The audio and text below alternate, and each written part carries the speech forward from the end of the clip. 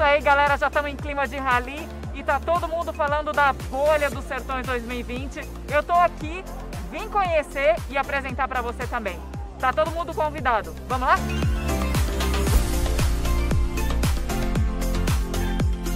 Muitas equipes trazem o seu próprio esquema de alimentação, cozinheiro, enfim, mas a maioria das pessoas comem aqui, ó, na praça de alimentação. Vamos lá? Me acompanha.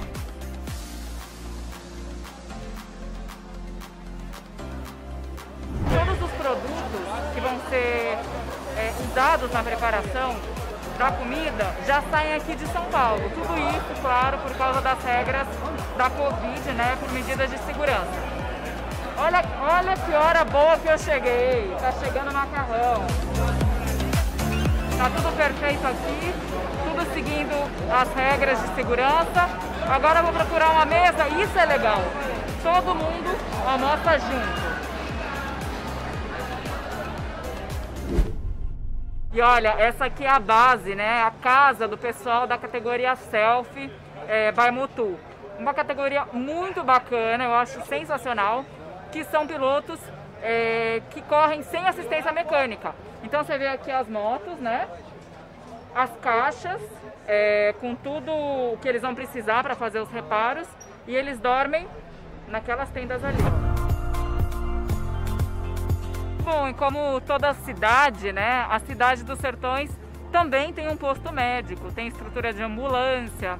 Inclusive, é, se acontecer alguma coisa, algum acidente com algum competidor, o tempo que o helicóptero de resgate demora para chegar até o local do acidente são apenas 10 minutos. Bom, eu estou aqui com o Felipe Webb, que ele é médico né, do aéreo. Tudo bom, Felipe? Tudo bom. A gente queria conhecer um pouco mais dessa estrutura de saúde, né, de emergência. Que tipo de ocorrências vocês atendem mais, com mais frequência? A maioria do atendimento aqui é ortopédico. A gente tem ainda duas UTIs móveis é, os dois helicópteros, né? Então a gente pega do, desde o acidente mais grave na, na prova até uma desidratação leve, alguma coisa assim. A gente tem uma área reservada para Covid, Sim. separado, isolada da carreta, não tem contato com essa parte. Aqui é para o atendimento geral. A gente tem nessa carreta uma sala ainda baritada com raio-x, para a gente poder fazer os exames aqui, não precisa depender de nenhum hospital para fazer isso. Então, o que o participante, o paciente chegar aqui precisar, a gente está pronto para atender.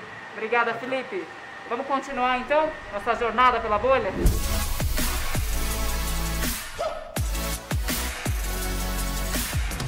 Então aqui ó, essa fila de carros é a vistoria da categoria.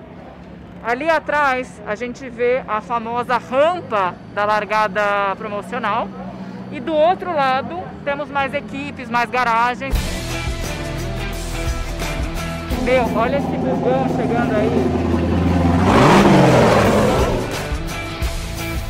Bom, promessa é dívida. Eu falei que eu ia apresentar para vocês a bolha dos Sertões 2020. Achei sensacional. Espero que vocês tenham gostado também. A partir de agora é só poeira para cima. Fui!